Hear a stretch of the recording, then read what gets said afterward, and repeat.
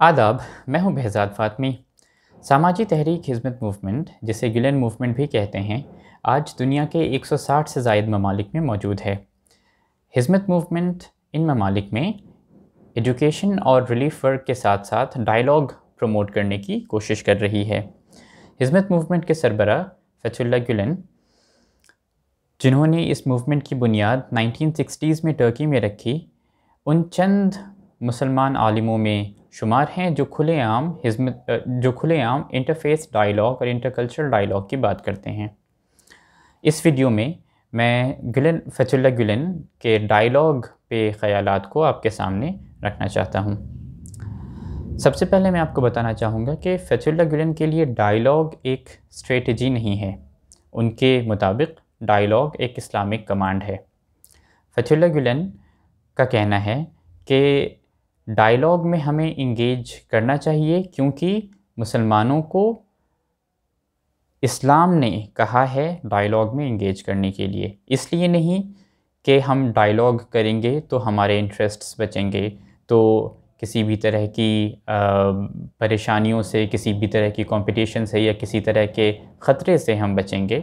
हमें डायलॉग इसलिए नहीं करना चाहिए, बल्कि इसलिए करना चाहिए क्योंकि इस्लाम कुरान और प्रॉफिट मोहम्मद सल्लल्लाहु अलैहि वसल्लम में पीस बी अपॉन हिम उन्होंने हमें ये सिखाया है। उन्होंने हमें ये हुक्म दिया है कि हमें डायलॉग को प्रमोट करना चाहिए और ख़ुद अपनी ज़िंदगी में डायलॉग में इंगेज करना चाहिए अलग अलग मज़हबों के के लोगों के साथ साथ आना चाहिए और उनके साथ कुछ बेहतर, कुछ पॉजिटिव करने की कोशिश करनी चाहिए पूरी इंसानियत के लिए।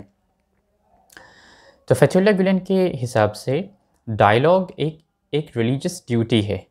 वो डायलॉग को इस्लाम के बावजूद नहीं, बल्कि इस्लाम की वजह से प्रमोट करते हैं। मैं इस बात को दोबारा रिपीट कर रहा हूँ। फतुल्ला गुलन डायलॉग को इस्लाम के बावजूद नहीं, इस्लाम की वजह से प्रमोट करते हैं। इस्लाम की वजह से डायलॉग को प्रमोट करने की बात करते हैं और ख़ुद उन्होंने अपनी ज़िंदगी में इंटरफेस डायलॉग किया है। फचुल्ला गुलन के मुताबिक और और ये बताते हुए क्योंकि इस्लाम हमें डायलॉग प्रमोट करने को सिखाता है ये बताते हुए फतुल्ला गुलन कुरान के कुछ आयतों को कोट करते हैं। उनमें से एक आ, आ, एक आयत एक सूर सूर अल हुजरात है जिसमें आ, कहा गया है कि हमने लोगों को अलग अलग ट्राइब्स में बनाया अलग अलग रेसेस में बनाया ताकि वो एक दूसरे को जान सकें एक दूसरे को समझ सकें। इसलिए नहीं बनाया कि हम आ, एक दूसरे के साथ नफ़रत करें एक दूसरे के के ख़िलाफ़ कोशिशें करें उनको नीचा दिखाने की उनको नुकसान पहुँचाने की। बल्कि इसलिए अलग अलग ट्राइब्स में अलग अलग रेसेस में आपको बनाया ताकि आप एक दूसरे को समझ सकें। और फचुल्ला अपने डिस्कोर्स में इस डायलॉग के बारे में इस डिस्कोर्स में इसकी बात, इस आयत की बात अक्सर करते हैं। फचुल्ला का कहना है कि अगर आप अल्लाह से प्यार करते हैं, अगर आप अल्लाह को पसंद करते हैं तो ये ज़रूरी है कि आप अल्लाह के बनाए हुए सारे क्रिएशंस को भी पसंद करें। अगर आप सच में अल्लाह की इज़्ज़त करते हैं अल्लाह से मोहब्बत करते हैं तो ये ज़रूरी है कि जिन जिन चीज़ों को अल्लाह ने इस दुनिया में बनाया है चाहे वो इंसान हो हैवान हो या आ, कुछ भी चीज़ें चाहे वो नदियाँ हों चाहे वो पहाड़ हों आप उनकी इज़्ज़त करें और इसी तरह से इंसानों की इज़्ज़त करें। अलग अलग मज़हबों की इंसानों की इज़्ज़त करें। क्योंकि सिर्फ़ मुसलमानों को तो अल्लाह ने बनाया नहीं, उन्होंने यहूदियों को भी क्रिश्चियंस को भी, हिंदुओं को भी बुद्धिस्ट्स को भी, सभी को अल्लाह ने ही बनाया है। तो इसलिए अगर आप अल्लाह से मोहब्बत करते हैं तो ये ज़रूरी है कि आप इन लोगों से भी मोहब्बत करें और उनके साथ बातचीत करें और उनके साथ फ्रेंडशिप में हारमनी के साथ रहने की कोशिश करें। फतेह के मुताबिक इस अप्रोच को जो भी लोग अपना बना लें जो भी लोग इस अप्रोच के हिसाब से अपनी ज़िंदगी को शेप करें और डायलॉग प्रमोट करने की डायलॉग में इंगेज करने की कोशिश करें, वो गनुल इंसानो बन जाते हैं। गनुल इंसाना एक टर्किश फ्रेज़ है, जिसका मतलब अंग्रेज़ी में होता है पर्सन ऑफ़ हार्ट या हम उसे उर्दू में दिल का इंसान कह सकते हैं। तो फेचुल्ला गुलेन की एक यहाँ पे एक छोटा सा पैराग्राफ है जो मैं आपके लिए पढ़ना चाहूँगा। अंग्रेज़ी में है ये, उसको मैं बाद में उर्दू में तर्जुमा करूँगा। They open their hearts to every one welcoming them affectionately regarding their deeds and attributes they try to be compatible with everybody they try to avoid vicious competition with others they try to show as much respect as possible to the philosophy and ideas that other people adopt they turn a blind eye to what other may do wrong. Such people nullify bad behavior with kindness, not thinking to hurt anybody even when they have been hurt over and over again. तो फतुल्ला गिलन कहते हैं कि जो गनुल इंसान होंगे जो a person of heart होंगे जो दिल के के लोग होंगे वो अपने दिलों को सभी के लिए खोलेंगे और सभी को बहुत ही मोहब्बत और शफ़क़त के साथ अपनी ज़िंदगी में वेलकम करेंगे वो किसी भी के साथ एक विशेष कंपटीशन को, ऐसी कंपटीशन जो आपको हसद और जलन की तरफ़ ले जाए, वैसी कंपटीशन एक नेगेटिव कंपटीशन जिसे हम कहते हैं, उससे वो लोग बचेंगे।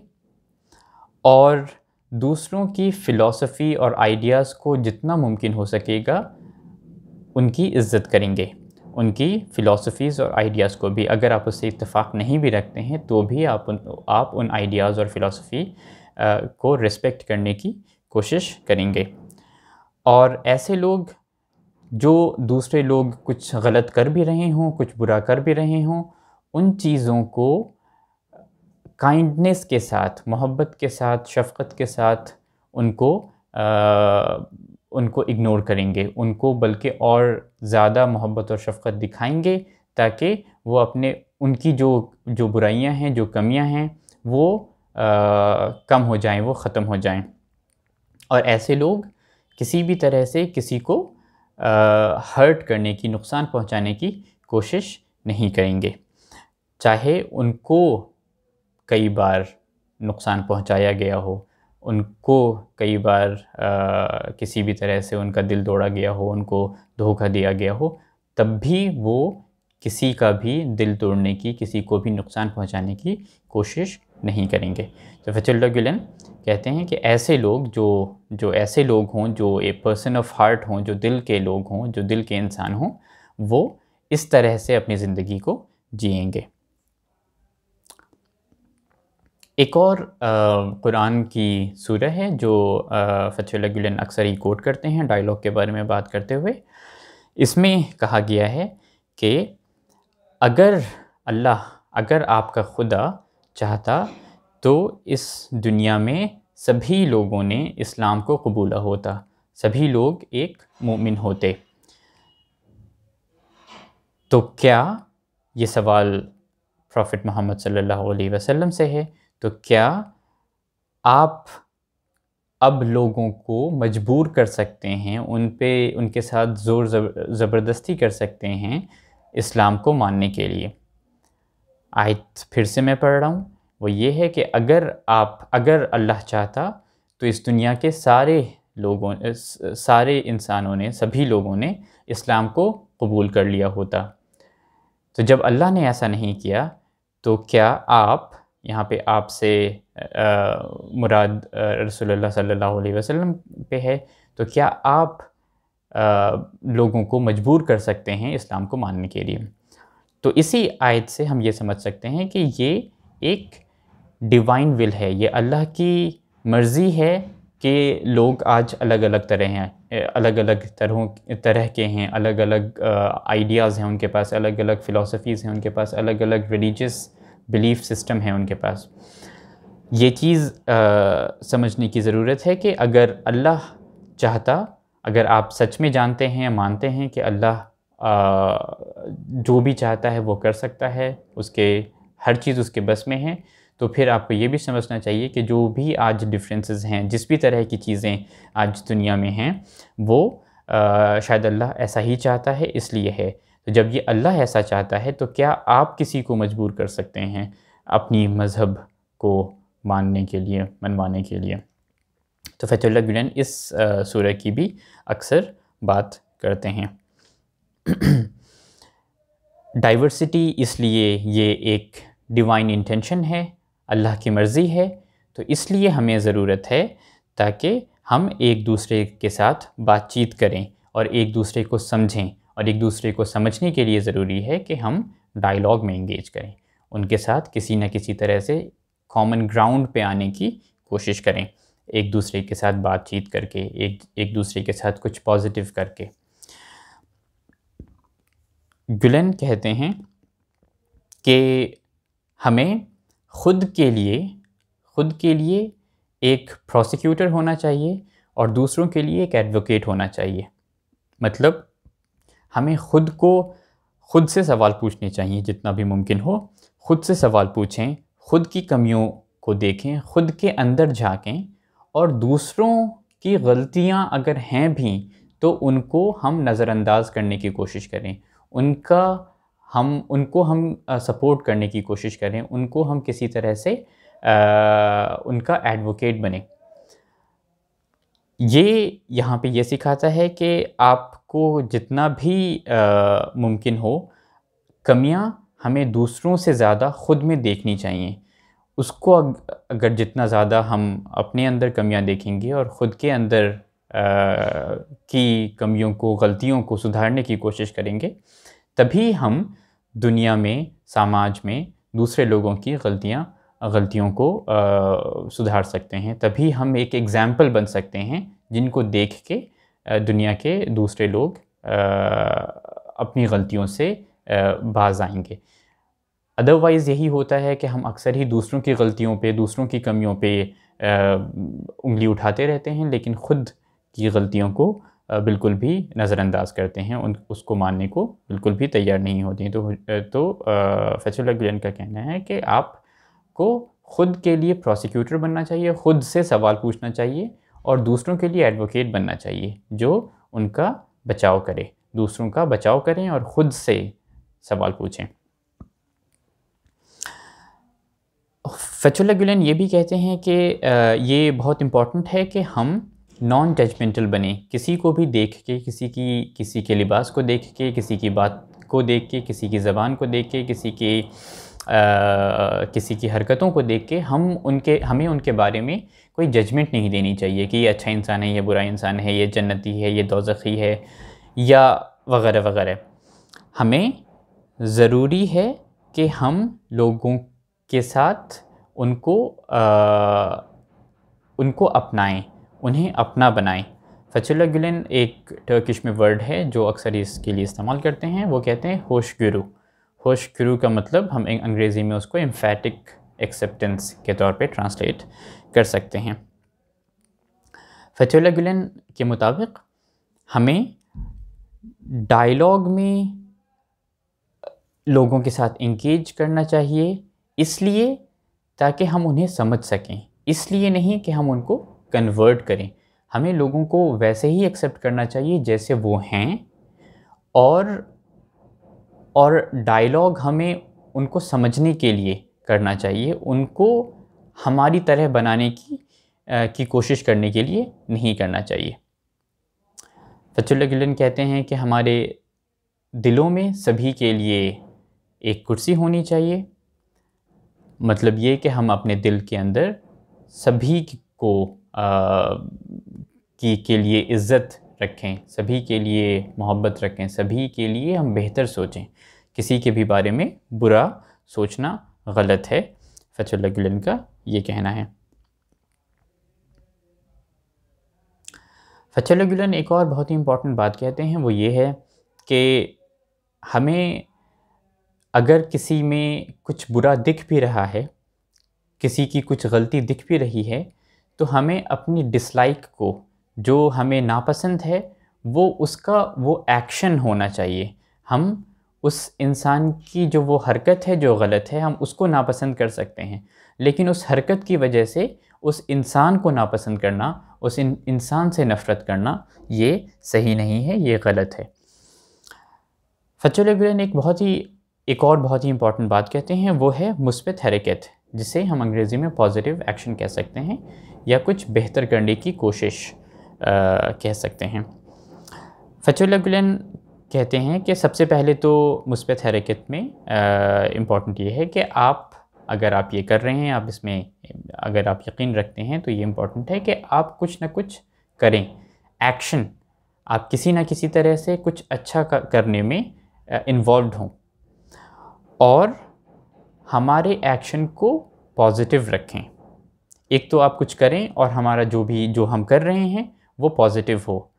ये किसी के रिएक्शन में किसी ने कुछ किया और उसके बदले हम ये कर रहे हैं, ये ऐसा नहीं होना चाहिए। हमें ख़ुद आगे बढ़ के पॉजिटिव कुछ करने की कोशिश करनी चाहिए, जो कि रिएक्शनरी ना हो। हमें ख़ुद बेहतर कुछ करने की कोशिश करते रहना चाहिए और इसलिए ये ज़रूरी है कि हम पॉजिटिव एक्शन में यकीन रखें और पॉजिटिव एक्शन में इंगेज करें। और वो कहते हैं कि हमें दूसरों के बारे में, गैरों के बारे में पॉजिटिव थॉट रखना भी ज़रूरी है। अगर आप डायलॉग में सच में यकीन रखते हैं तो आपके लिए ज़रूरी है कि आप पॉजिटिव थॉट रखें। लोगों के बारे में गलत ना सोचें। टर्किश में एक वर्ड है हुस्न जान जो जिसको कहते हैं positive positive view of others आप उसको वैसे ट्रांसलेट कर सकते हैं अंग्रेज़ी में। और दूसरी तरफ़ एक वर्ड है स्वीज़ान जिसका मतलब होता है लोगों के बारे में गलत ख्याल रखना। तो फैचुलगलन कहते हैं कि हमें लोगों के बारे में, गैरों के बारे में पॉजिटिव ख्याल रखने चाहिए, अच्छे ख्याल रखने चाहिए। हमें गैरों के बारे में, दूसरों के बारे में बुरे ख्याल नहीं रखने चाहिए।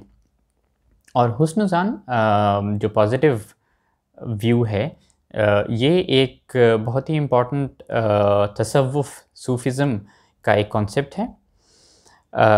तो यहाँ पे भी हसन ज़ान में भी अगर इस कॉन्सेप्ट को आप देखें तो इसमें भी यही कहना है। इस इस कॉन्सेप्ट का मतलब ये होता है कि आप गॉड्स क्रिएशन को, अल्लाह के बनाए हुए सारी चीज़ों को पॉजिटिवली देखें। उनकी तरफ़ आप अच्छे ख़यालात रखें, उनकी तरफ़ आप बुरे ख़यालात नहीं रखें। और किसी भी तरह के जो नेगेटिव थाट्स उनके बारे में हों या या फीलिंग्स हों, उनसे आप बचें। और फेचुला गुलन के लिए ये भी बहुत ही इंपॉर्टेंट है कि उनके मुताबिक डायलॉग को एक मेल्टिंग पॉट की तरह से हमें मेल्टिंग पॉट दुनिया को एक मेल्टिंग पॉट बनाने की कोशिश करने में डायलॉग का इस्तेमाल करना गलत है। मेल्टिंग पॉट का मतलब होता है कि आप दुनिया में जितने भी लोग हैं लोग हैं अलग अलग लोगों उनको एक जैसा बनाना उनको ख़ुद के जैसा बनाने की कोशिश करना ये गलत है।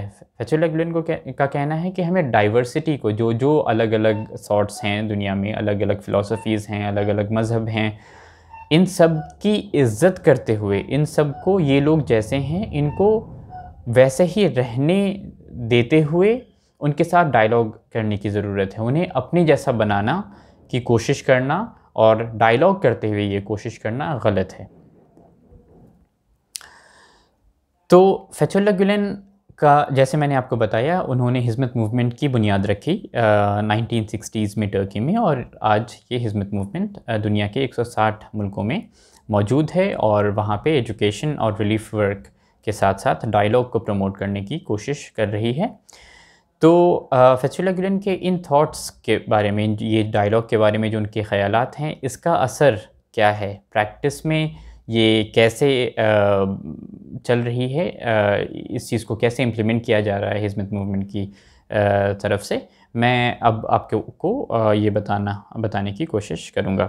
तो हिजमत मूवमेंट के जो हिजमत मूवमेंट जो है, जो इसमें सबसे हिजमत मूवमेंट की ख़ास बात यह है कि हिजमत मूवमेंट इस्लाम से इंस्पिरेशन तो ज़रूर लेती है, लेकिन इस्लाम से इंस्पिरेशन लेने के साथ साथ ये जो भी एक्टिविटीज़ करती है, जो भी काम करती है, इसमें ये सिर्फ़ इस्लाम को मानने वालों के लिए नहीं, बल्कि सोसाइटी में, समाज में जो भी ज़रूरतमंद लोग हैं, उनके लिए एक्टिविटीज़ करती है।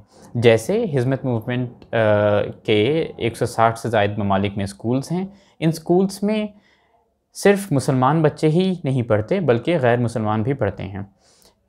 अगर ये मुल्क हिंदुस्तान में है तो यहाँ पे मुसलमान भी पढ़ते हैं, हिंदूज़ भी पढ़ते हैं, सिख्स भी पढ़ते हैं, क्रिश्चियंस भी पढ़ते हैं, जो भी इस मुल्क में जो लोग भी रहते हैं, वो सारे लोग अपने बच्चों को इन स्कूल्स में भेजते हैं और ये स्कूल्स इन सारे बच्चों को एक जैसी तालीम देने की कोशिश करती है।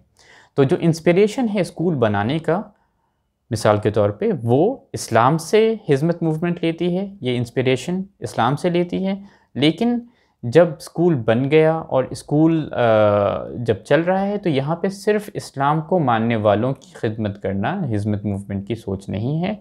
समाज में रहने वाले सभी लोगों की खिदमत करना, हिजमत मूवमेंट की सोच है।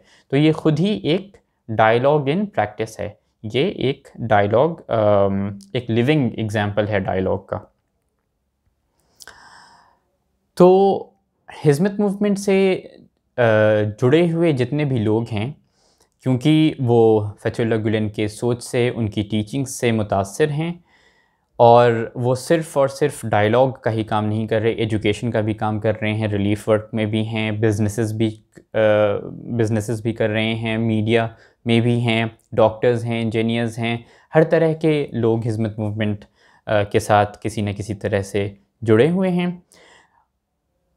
तो ये सारे लोग अपनी अपनी प्रोफेशंस में अपनी अपनी ज़िंदगी में डायलॉग को इम्प्लीमेंट करने की डायलॉग को आ, को अपनाने की डायलॉग को प्रमोट करने की कोशिश करते हैं। फचुल्ला गिलन के हिसाब से डायलॉग एक बहुत ही इंपॉर्टेंट चीज़ है। वो एक ऐसी चीज़ है जिसको आप सिर्फ़ डायलॉग प्रैक्टिशनर्स के लिए नहीं छोड़ सकते। आप ये नहीं कह सकते कि कुछ लोग हैं जिनका काम है डायलॉग को प्रमोट करना डायलॉग एक्टिविटीज़ करवाना जैसे फ्रेंडशिप डिनर हिजमत मूवमेंट के लोग दुनिया के अलग अलग मुल्कों में करते हैं। हिंदुस्तान में भी फ्रेंडशिप डिनर्स होते हैं रमज़ान के महीने में। तो जो लोग जिन लोगों का काम फुल टाइम काम है डायलॉग करना ये सिर्फ़ उनका ही काम नहीं होना चाहिए। उनका तो काम है ही वो फुल टाइम इस चीज़ के लिए आ, अपनी कोशिश अपनी एनर्जी लगा ही रहे हैं। लेकिन ये ज़रूरी है कि जो दूसरे प्रोफेशंस में भी लोग हैं वो भी डायलॉग के को वैसे ही अपनी अपनी ज़िंदगी में प्रमोट करें। जैसे कोई स्कूल में टीचर है तो वो उसके लिए ज़रूरी है कि वो सिर्फ़ मुसलमान बच्चों को ही आ, अच्छे से ना पढ़ाए बल्कि वो गैर मुसलमानों को भी अच्छे से पढ़ाए। क्लास में जितने भी बच्चे हैं उन सभी को आ, उन सभी के लिए अच्छे ख्याल रखे उनकी कामयाबी की दुआ करें और हर मुमकिन कोशिश करे।